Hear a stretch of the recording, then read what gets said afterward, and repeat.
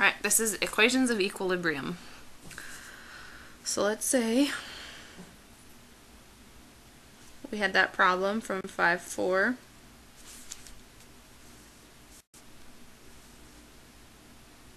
This is point A, this is point B, and this is point C. We've got 8 pounds acting right here. Got a reaction force in the y direction right here.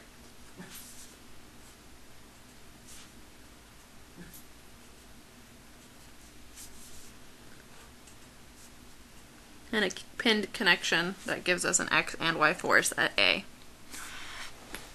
Okay, so our equations of equilibrium, we've got the sum of the forces is equal to zero, and the sum of the moments is equal to zero. Okay? So that gives us that the sum of the forces in the x direction are equal to zero, and the sum of the forces in the y direction are equal to zero. And then we could also sum the moments about point A equals 0, which gives us three equations and three unknowns. Okay. Alternatively,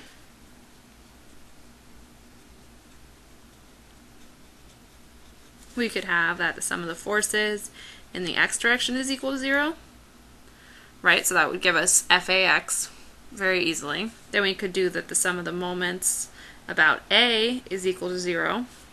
That would um, give us FBY, because these two forces would be acting. And then we could also do the sum of the moments about point B is equal to 0. So instead of summing the forces in the y direction, we then sum the moments about the b direction, and about b, FAX would go through, so that wouldn't form a moment, and then it would just be FAY and the 8 pounds. Okay? So we could use those three equations to solve it. And then finally,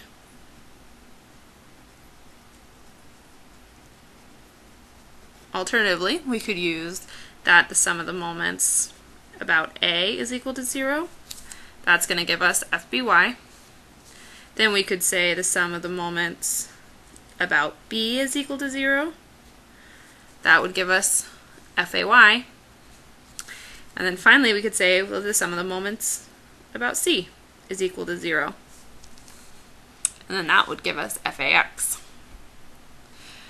So any of these three combinations are going to work, and it all depends on um, how the problem is laid out and what's easiest for you to solve.